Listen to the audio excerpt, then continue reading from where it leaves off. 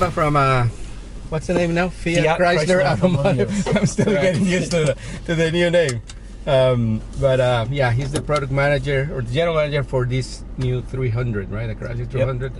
One of the most iconic cars for the brand, right? Yeah, absolutely. So the Chrysler 300 uh, has a great history uh, with us.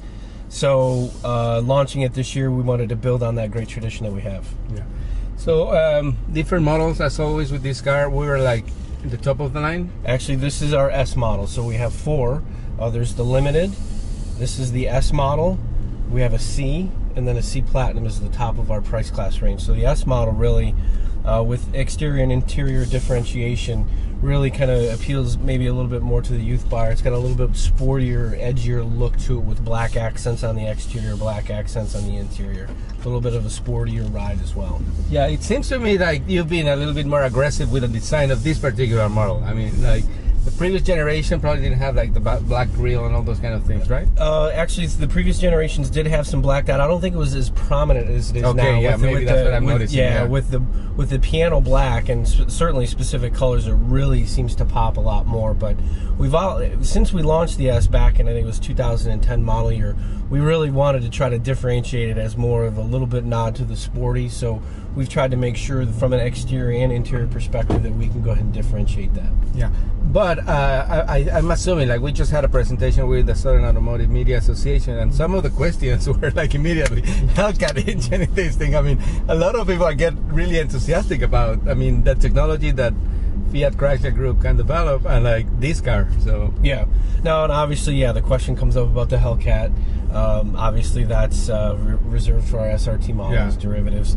Uh, the the engine and transmission lineup we have in this car really meets the needs of what our consumers are looking for. So, with the V6 engine at 292 horsepower, or if you get the S, it's 300 horsepower. With coupled with the HP transmission, there's plenty of horsepower and torque. And then for those people who want more of a sportier kind of uh, uh, ride, you can get the, the V8 Hemi at 365 yeah, horsepower. but there's no SRT division now in Chrysler, right? Because now so that all those The- reserved for in- In, select overseas markets, there is a 300 SRT model, oh, okay, but not but for it's the very, states. it's you're correct. It's very minimal. Oh, I see, I see. Okay, so um, 2015, this car was launched just in January, right? In How, how are you guys doing with the car? Uh, we're doing great. Obviously, we've uh, gotten through the sell down. So when you launch a car, you have to sell down the old model, intro the new model. So How long does that generally take? I mean, you were doing really good with the old one still, right? Yeah, we were. We had a great 14 uh, calendar year sales wise from a 300 perspective. So, you know, it depends upon sales rate and how many units you have on the ground and inventory, all that kind Yeah. of stuff. But uh, we're in a position now where I'd say roughly uh, 90% of our overall inventory is 15 model year, which is great for us. So, uh, we're obviously making sure that we're getting out in front of all the journalists and all, all consumers and the dealers to educate everybody on what we've got to offer for 15 model year. So, what's new in this car for the previous generation? uh, what's new. So from an exterior wise, we'll start there. We've got a new front and rear fascia. So we've got a different look, a little bit bolder of a, a grill. We've widened it, we've heightened it. Um, on this model specifically, like I said, there's black accents on the exterior. We've added forward LED lighting with LED fog lamps and Yeah. LED daytime running lamps. On the rear, we've added um, new exhaust tips, trapezoidal designed exhaust tips. We've got Are those different? I'm sorry, different from uh, from the S model and then the, the other trims? No, it's consistent across Okay, the, the yeah. lineup. Uh, we've got L- new LED tail lamps. So, we've, like I said, we've got forward and rearward LED lighting. Um, from an exterior perspective, uh, really obviously maintain what's core to the car is that kind of chiseled shoulder design Yeah. on the sides, which we, again, one of the top purchase reasons from our consumers is the exterior styling. So, really kind of took the design back to that big, bold American sedan that we've been known for with the Chrysler 300. Interior wise, we made a lot of updates, upgraded the leathers, upgraded uh, interior materials. We've got a standard 8.4 inch touchscreen, which is the largest in its class. Which I love. I mean, like this system from the Chrysler Group is the best in the business. I think. yeah, we've, In we've terms of usage and like how you can control everything, it's really amazing. Yeah, it really is. We're getting a lot of great feedback, and obviously the consumer feedback is it's easy to use, and that's what you want. So- Exactly. That's that's the main thing I think. exactly, because when you start bringing more and more technology into the car, you need to make sure that it's it's That you can understand it and take advantage of it, right? Exactly. So new rotary shifter, that's new for us. So like I said, kind of frees up some console space. Yeah. Uh, also, just a, a hint of refinement. Um, we've got a new a seven-inch driver information display between the speedometer and tachometer. It's customizable.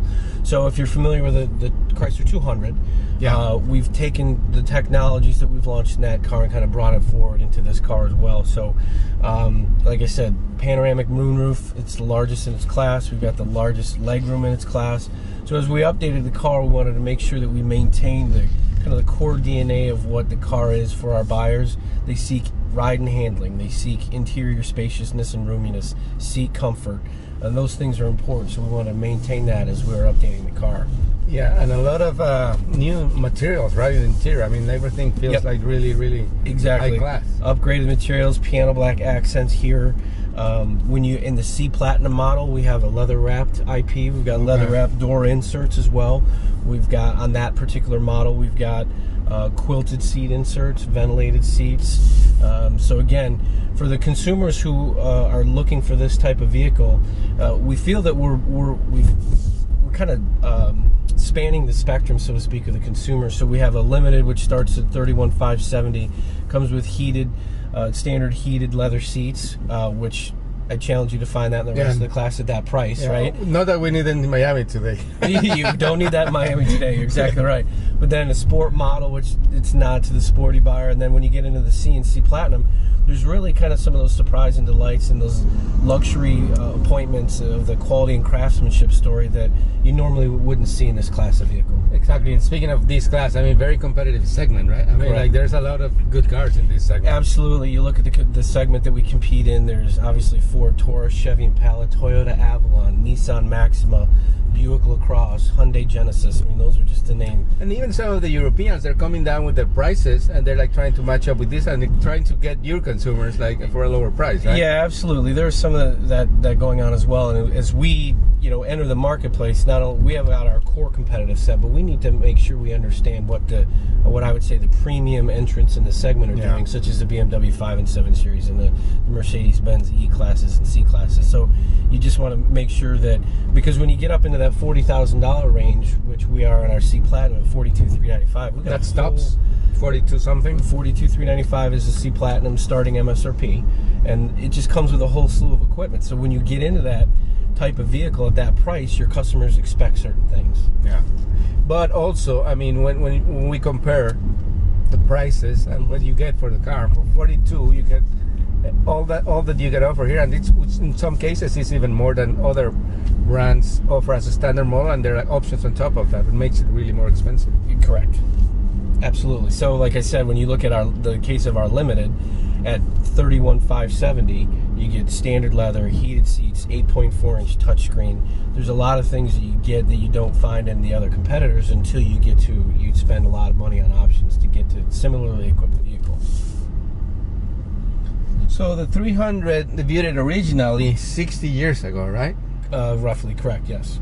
And then uh, what happened? It just went out of uh, production because it came back like in the 2000, right? Yeah, 2005. Yeah. Uh, we re- we I guess 2005, we, yeah. relaunched it, and then uh, we updated obviously in 2011, and now we have an update here in 15. Yeah, so um, excited to have it back. We've got great feedback. Like I said, we're getting a lot of consumers uh, coming from outside of our brand lo- uh, looking in because of the, the styling of the car and what the car means and what its heritage, uh, which is great. And that's if you look at our customer base, that's they're very excited about the car from a design perspective and the heritage perspective, and so it's good that we're getting a lot of conquest sales. So the evolution of the 200 uh, has that. I mean, that car was like completely, radically changed. I mean, like I don't know how many thousands of times more improved than the previous generation. Does that have has some impact into like this car because people are coming into maybe see the 200 and like they know how good it is now, and they see this one. Oh, this is like even better.